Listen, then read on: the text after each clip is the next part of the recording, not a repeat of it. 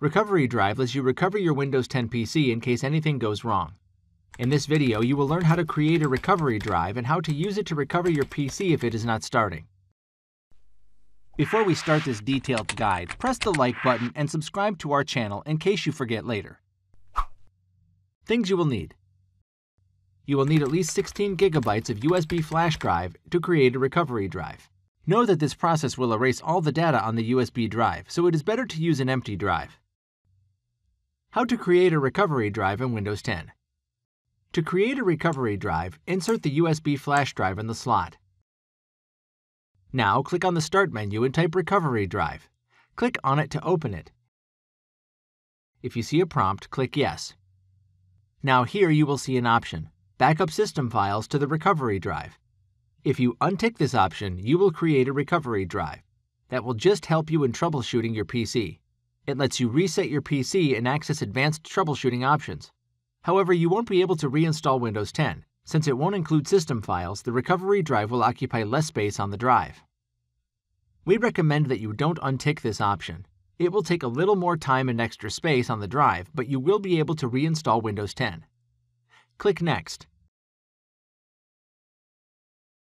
After some time, it will display the available USB drives. To avoid confusion, you should remove all other USB drives from the PC. Select the drive and click Next. Now it will show the warning that this process will erase all the data on the drive, so make sure you take a backup. Click on Create. Now here you will have to wait for a long time. On my PC it took around 2 hours. It can be different on your PC. You can keep working while it does its job. Click on Finish and safely remove the USB flash drive.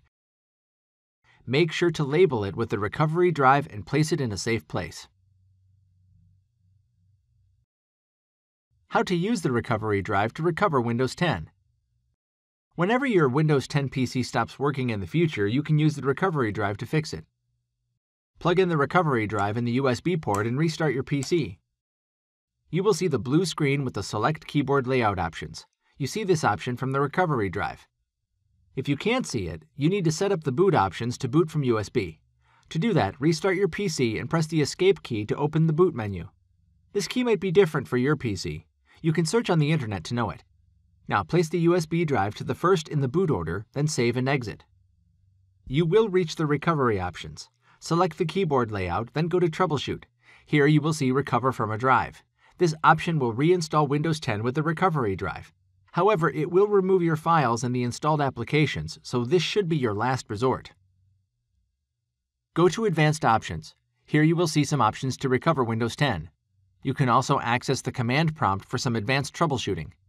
If none of these works, then use the Recover from a Drive option to install a fresh Windows 10.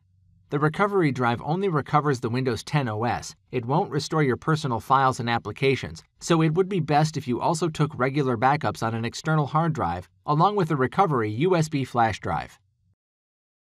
That's it for this video.